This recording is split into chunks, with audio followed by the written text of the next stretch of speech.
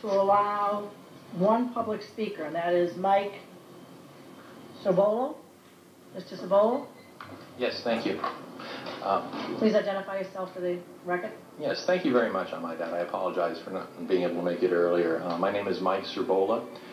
I'm here uh, about myself. I have taught all grades. I, I was fortunate enough to be a, a uncertified teacher. They were desperate.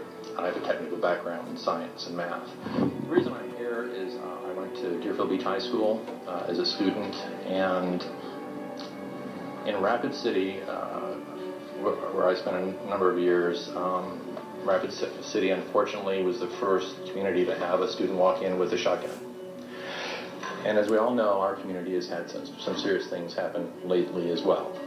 Um, in fact, I'm not going to ask you questions. I know you can't answer but it is a federal statistic, not mine. It's not my opinion. That one out of five children, children, before or reaching the age of 18, has been exposed to something that has met a degree of criminal prosecutability, not just something that would make a parent upset. And this is our government's federal statistics. These come out every four years. They are not mentioned. I do not know why. But here's the deal there's nobody between those kids and what's happening to them other than you.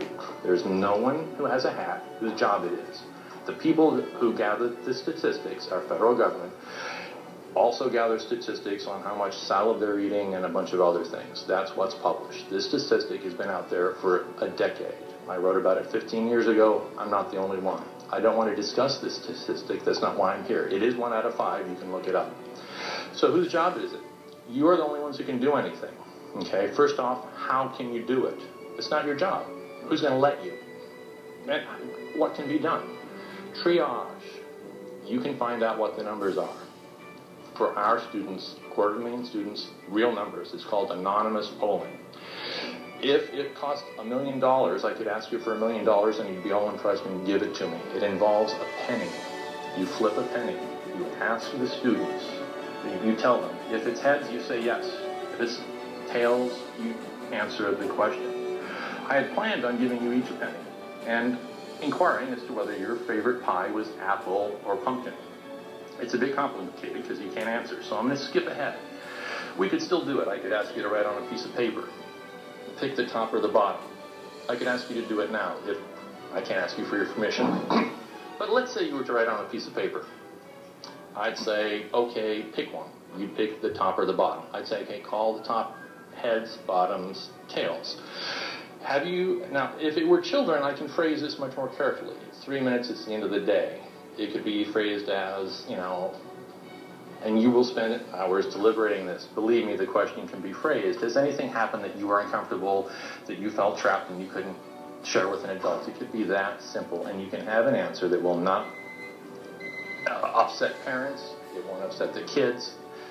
Uh, if I ask, uh, excuse me for pointing, but one of you, whether your favorite pie is apple or whatever, you won't tell me. But I can ask all of you.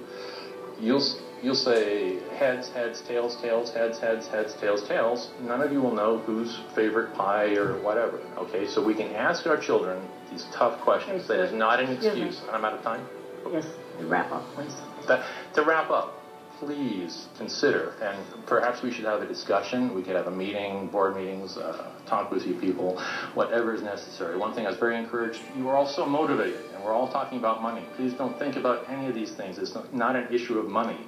It is an issue of acknowledging that there's a problem and then worrying about it. If a child is on fire, and that's what we're talking about, this is literal abuse, and they're on fire now, not next month, not last month, it's not someone else's kids. As we're speaking, out of a quarter of a million kids, uh, students, 50 are, are newly being abused as we're speaking, and they're on fire in pain now, this second.